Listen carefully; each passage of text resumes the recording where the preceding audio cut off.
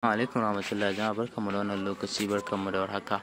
A wannan bidiyon zan nuna mana ta yadda za mu yi claiming na notcoin namu insha Allah. So da farko bayan ka shigo a wallet naka na shi a wurin da kake mining na bot din notcoin din zaka zo zaka ga sun sa maka haka.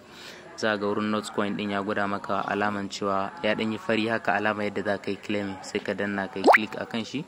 Idan kai click akan shi sai ka danna next ka danna next ka sake dannawa. Zai ka je last one. To gashi nan total abin da za su bani na yi claiming gashi nan notcoin balance gashi nan na riga da na yi claiming kenan.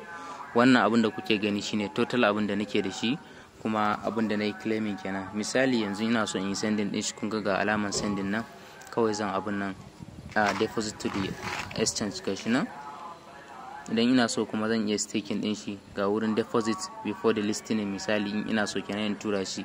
Sannan ga wallet in telegram wallet in telegram ne ina so in kai shi sai in danna.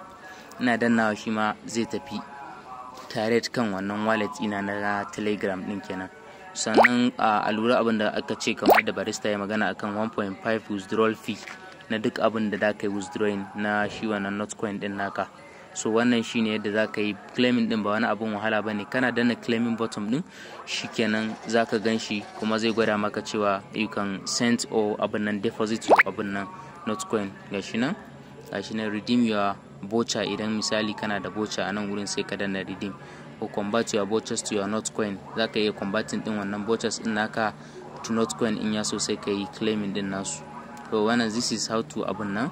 Kai claiming notcoin ɗinka ba tare da bata lokaci ba. As far as kaga wannan ya gwada maka wannan plus sign ɗin nan da kuma alaman sending ɗin nan wannan arrow da yake gwada cewa ya yi saman nan to shikenan notcoin ɗinka yanzu gashi nan ya riga da ka riga da ka yi claiming ɗinsu.